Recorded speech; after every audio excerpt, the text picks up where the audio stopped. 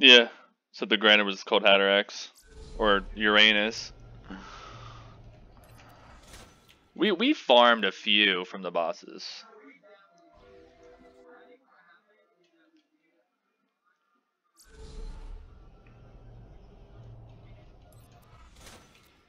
Yeah.